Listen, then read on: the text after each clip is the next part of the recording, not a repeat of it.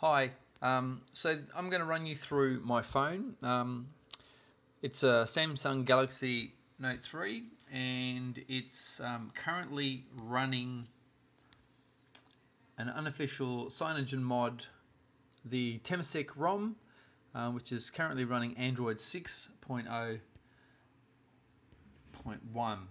So uh, we'll just go to About Phone and you can see that I am indeed running uh, Cyanogen mod, unofficial version there, and Marshmallow 6.01, and where is, so yeah, so that's it. Um, ROMs are really good. As you can see, that has a spare parts section, and this is where all the really cool um, extra bits are. It's got app circle bar, app bar, clock widget, and gesture anywhere. I'll show you a demo of gesture anywhere. So gesture anywhere is like this. So I want to check my my battery stats. I just go B, and hopefully it will take me straight to my battery stats, and it did. Um, I want to go to my Google Plus page, so go to G for Google Plus, and it'll take me there. And there's Google Plus, and what else have I got? Um, I now I just I need to make a note. So there's N. So these gestures can all be um, written in, and there's my notes. And I want to check if there's new updates to the Temasek ROM.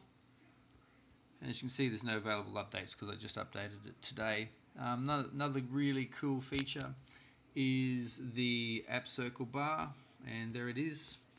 I'm spinning around, and you can put whatever apps you want there. Um, really, really responsive, really quick, um, and yeah, that's my most recent apps. You can kill all those apps running in the background.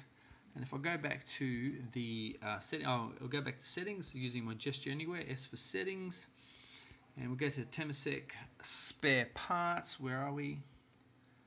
And it has the um, app bar, which you can use in place of the um, recent apps and and you can set it up. So basically it's um, if I was to get rid of this button here um, that shows all my most recent apps um, it's yeah it'll it'll do that instead because um, you can allocate the buttons to do all sorts of things. So what else have we got in here?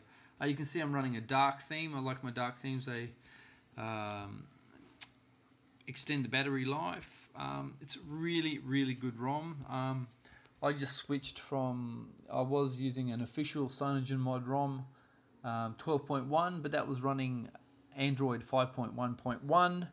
But I had read and heard that um, CyanogenMod weren't going to support the Note 3 anymore, so uh, Temasek is, and and it's got the Google Now on Tap feature, which is really, really cool.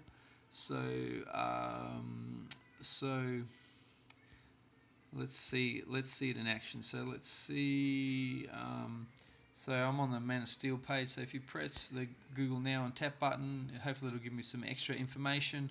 There we go and it's given me Man of Steel reviews um, Flixster stuff and some reviews and some YouTube Internet Movie Database and Flixster links.